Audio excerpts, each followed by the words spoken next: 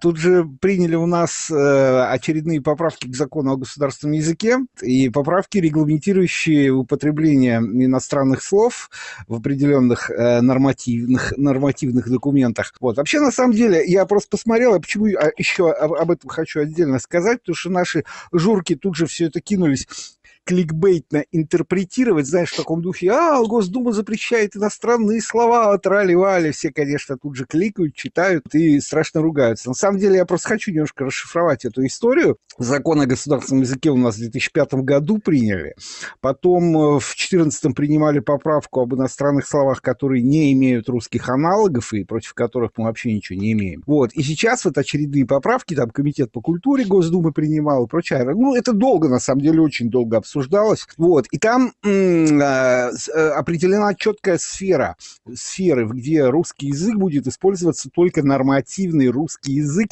и иностранные слова, которым есть аналоги в русском языке, не должны вообще употребляться. Это, конечно, официальный язык, язык государственных документов, язык вот межведомственного общения и прочее, прочее. Вот. И что самое главное, очень хорошая поправка, э, это будет регулироваться в сфере потребителей вообще. Вся информация для потребителей, которые, ну, к примеру, вот то, что меня лично бесит, вот этот весь современный нейминг, опять же, иностранное слово, знаешь, когда у нас таунхаус там, э, у нас вот этот паркхаус, около дома у меня торговый центр, да, вилледж там, гарден, вот это все трали-вали, вот эта вся потребительская все эти потребительские наименования, английский язык в брендах, э, в этих вывесках на магазинах, меня это страшно бесит. У меня еще, помнишь, с X Гошей даже, по-моему, год назад где-то эфир был на да, эту тему. И Гошка я как раз хотел упомянуть.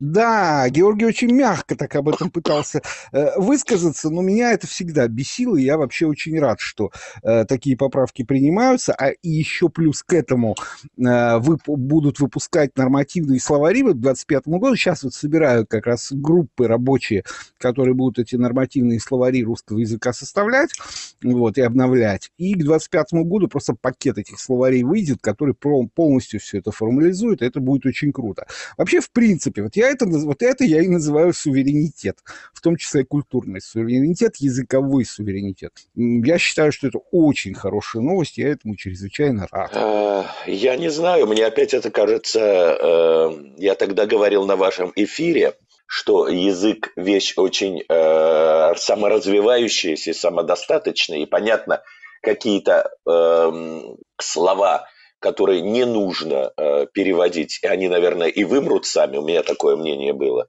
Но э, мне кажется, такое количество иностранных слов и заимствований, что если их начать переводить, то это ни к чему хорошему не приведет. Как ты говоришь, даже если нет аналогов. Я боюсь, что будут искать аналоги такие. Кстати, слово аналог, как ты понимаешь, иностранное. Вообще, когда я тебя слушал, я понял, что в твоей речи была большая часть слов заимствованных регламент, норматив, документы, кликбейт, расшифровать, аналог, сфера, информация, нейминг, бренд, суверенитет. Очень не русские слова. Нет, конечно, спекулировать этим, как ты сейчас делаешь, э, в Почему принципе... спекулировать? Очень... Я тебе говорю, что вот, блин, началось. Слово спекулировать, во-первых, иностранное, придумай какое-нибудь другое. Э, понимаешь, я не спекулирую, я говорю, что язык сам себя меняет, мне так кажется. Это спекуляция что язык а... сам себя меняет. И возникли сначала французские слова, как мы говорили, немецкие слова, английские. Понимаешь, э, если их менять, ну, ну хорошо, меняйте. Мне кажется, это и есть спекуляция как раз. Проговорю еще раз то, с чего я начал. Во-первых, это будет касаться, да. как ты помнишь, э, вот этого документа оборота и государственных вот этих всех вот вещей важных э, и потребительского рынка. А понятно, что в бытовой речи, вот, которой мы сейчас с тобой разговариваем, это вообще не будет иметь никакого отношения. И хоть ты вообще со мной говори по-английски, я тебе слова не скажу, тем больше я и не пойму половину. Вот, и это все нормально. Вот, я просто вот в частности частности, еще одна добавка к тому, что такое суверенитет с моей точки зрения. Это вот в том числе вот такая вещь. На самом деле поправки очень хорошие и правильные, мне кажется. Язык, он сам, он, конечно, язык сам умеет с этим справляться. Но э, вот в той ситуации языковой в том числе, в которой мы находимся последние 30, может быть, даже 40 лет, Я надо ему немножко вопрос. помочь. Я тебе задам вопрос. 30-40 лет, я так понимаю, ты меня сам, когда разговариваешь о политике и экономике, ты не можешь обойтись без иностранных слов, правильно, да? Как это называется вещь? Э, фьючерсы, да, там как минимум. Но это слово никуда я... не уйдет. Будут ли ему искать аналог? Вот это вот вопрос. Ну, скорее всего, скорее всего нет, потому что фьючерс этот вполне себе термин.